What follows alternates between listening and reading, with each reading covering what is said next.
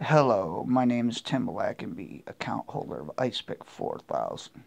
I think Xbox uh, enforcement agencies are a joke. I have a federal tracer in my gamer tag needs to be put back on today. XB1398227 at Outlook.com. If it's not up, you're hindering an investigation. So have fun with that.